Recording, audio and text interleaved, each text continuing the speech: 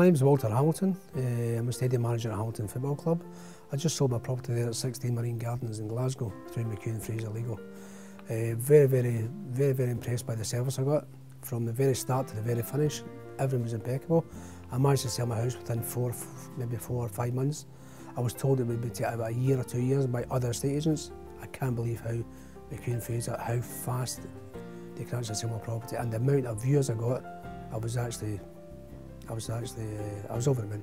I couldn't believe it.